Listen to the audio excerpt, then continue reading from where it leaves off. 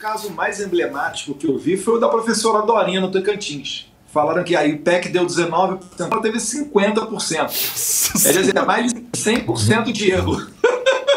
joga, joga, como o Paulo Figueiredo falou, joga abusos que dá mais certo. Né? Agora, esse tema, ele não é um tema pormenor. Né? Tem uma matéria do Yahoo, que o próprio grupo Yahoo fez um levantamento. Em 2014, o Datafolha ele já errou em 64% os seus prognósticos para os cargos executivos, tá? A gente está falando de governadores e presidentes. Então, a pergunta é como que o instituto desse até hoje está aí e até hoje estão esses grandes veículos de comunicação citando. É óbvio, todo mundo sabe, ninguém é criança, que é para manipular. Né? Caso mais notório, quer dizer, que ficou mais famoso nessa eleição foi do Paulo Eduardo Martins.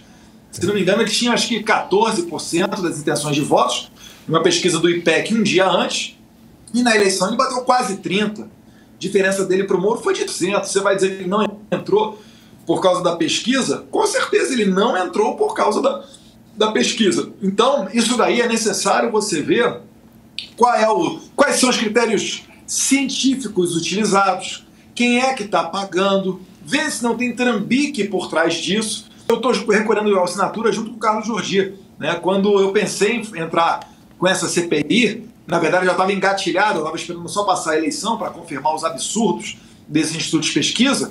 O Jordi, no mesmo dia, também falou: ah, vou coletar assinatura. E depois o capitão Derrite também. E o Paulo Eduardo Martins na sequência. Então o que nós fizemos foi: eu liguei para cada um deles e nós quatro estamos entrando juntos em coautoria. A boa notícia é que no Rio de Janeiro, o deputado Anderson Moraes já conseguiu as assinaturas mínimas para uma abertura de uma CPI estadual, lá na Alerj. Então a gente está, é, acredito que há poucos dias, para que o presidente da Assembleia Legislativa do Estado do Rio de Janeiro possa ler esse, esse requerimento e abrir essa pesquisa. Não faz sentido. Eu, eu olhei assim, é uma cara de pau a Mônica Bergamo chegar um, dois dias depois da eleição, botar lá, IPEC, Lula 51, Bolsonaro 43. Parece que nada aconteceu. Parece que está tudo bem, tudo de boa. Né? Eu até fiz, finalizando aqui, eu fiz um vídeo um pouquinho mais extenso, coloquei no meu YouTube, mostrando como é que o Quest faz essas pesquisas. Uma pesquisa de maio, em que eles foram até o Maranhão, em, de, em algumas cidades, mas não foram em Imperatriz, que é a segunda cidade mais populosa do Maranhão. Por quê? Porque o Bolsonaro ganhou lá em 2018. Aí você pergunta, Eduardo, então ficou fácil de você desmascarar o Datafolha? Não, porque o Datafolha sequer registra no TSE as localidades em que ele vai.